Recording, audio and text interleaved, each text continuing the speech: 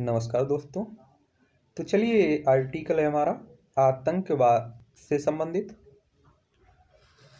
पिछले कुछ सालों के दौरान यह साफ़ हो चुका है कि वैश्विक स्तर पर आर्थिक गतिविधियों के सहज संचालन और अलग अलग देशों के विकास में आतंकवाद से, आतंकवाद ने कैसी बाधाएँ खड़ी की हैं।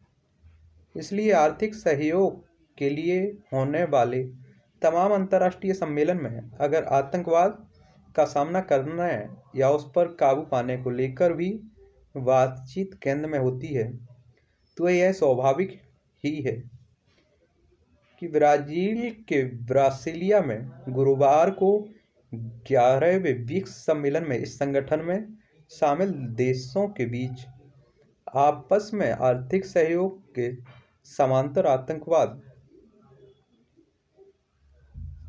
भी चर्चा का विषय बना है।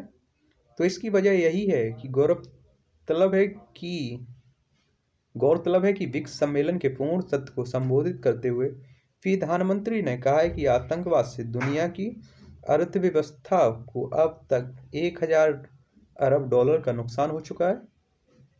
यह अंदाज़ा लगाया जा सकता है कि विकास, शांति और समृद्धि के लिहाज से इतनी भारी रकम का क्या और कैसे इस्तेमाल हो सकता था।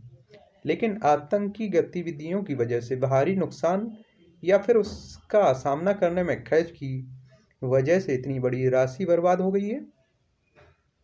आतंकवाद केवल भारत में ही नहीं अलग अलग पैमाने पर दुनिया के कई देशों की समूची राजनीति और आर्थिक व्यवस्था को पूरी तरह विभावित कर रहा है।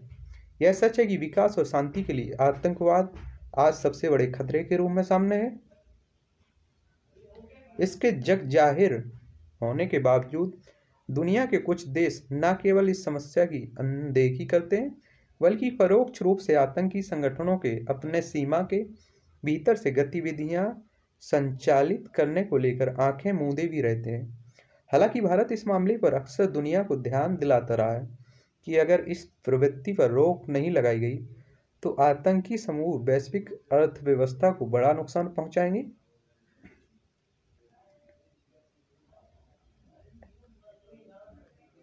भारत को इस दिशा में एक बड़ी कामयाबी तब मिली, जब चीन में हुए नौवे विक्स सम्मेलन में जारी घोषणा में पहली बार पाकिस्तान की ज़मीन से आतंकवाद फैलाने वाले संगठन लश्कर तैयबा जैसे मोहम्मद तक के तहरीक तालिबान, हक्कानी के नेटवर्क आदि का नाम सार्वजनिक रूप से शामिल करते हुए इनकी आलोचना की गई थी। तब ब्रिक्स देशों ने आतंकवाद को सह देने वाले देशों को तीखी फटकार भी लगाई थी। यानी ब्रिक्स देशों के ताज़ा सम्मेलन में एक हद तक सही, लेकिन भारत को आतंकवाद के मसले पर दुनिया का ध्यान खींचने में फिर अहम कामयाबी मिली। खासतौर पर रूस के राष्ट्रपति व्लादिमीर पुतिन के साथ द्विपक्षीय बैठक में प्रधानमंत्री मोदी ने रणनीतिक साझेदारी को और मज़बूत करने पर चर्चा की, जिसका मुख्य उद्देश्य आतंकवाद निरोधक सहयोग के लिए एक व्यापक तंत्र बनाना है।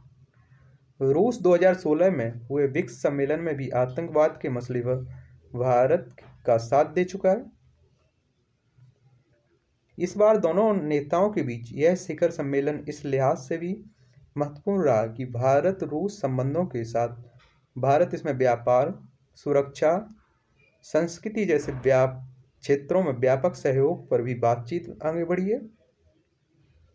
इस समूची कवायद में न केवल भारत, बल्कि विश्व स्तर पर अर्थव्यवस्था के बाधक तत्वों की पहचान और उनकी चुनौतियों का सामना करने की ठोस योजनाओं पर बातचीत आगे बढ़ी और यह अंतर्राष्ट्रीय शांति और विकास के लिहाज से महत्वपूर्ण है। यूँ भी ब्रिक्स देशों के आर्थिक सहयोग की ओर बढ़ते कदमों में आतंकवाद जैसी समस्याओं से निपटने के लिए ठोस कार्यक्रम को शामिल करना वक्त की ज़रूरत है।